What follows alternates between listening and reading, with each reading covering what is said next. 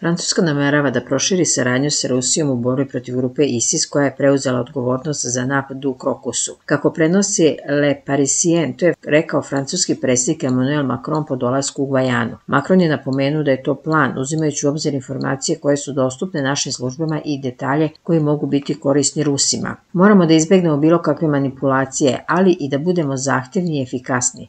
U tom duhu idemo napred i nadam se da će Rusija učiniti isto, rekao je Macron. Također je izrazio podršku solidarnosti sa ruskim narodom i razmišlja o svim žrtvama, njihovim porodicima i sve ranjenima. Znam koliko ovo duboko povređuje zemlju, rekao je Macron. Pored toga, on je naveo da je grupa ISIS Vilayt Horason, koja je preuzela odgovornost za napad u Ruskoj federaciji, posljednjih mjeseci pokušala nekoliko atentata u Francuskoj, Nemačkoj i drugim evropskim zemljama. Posebno je bila aktivna krajem 2022. godine. Prenosi informer.rs.